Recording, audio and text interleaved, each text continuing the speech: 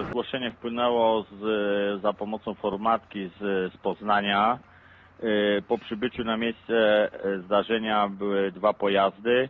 Uczestniczyło sześć osób, w tym dwie były poszkodowane i zostały przetransportowane do szpitala we wrześni. No my, my mamy tutaj nie- niezachowanie ostrożności przez kierującego pojazdem. Dwa zastępy zawodowe z JRG Września i jeden zastęp OSP Kaczanowo. Ogniomistrz Pruchnik Sławomir.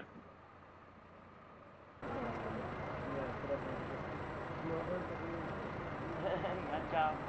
정말 힘들었어요.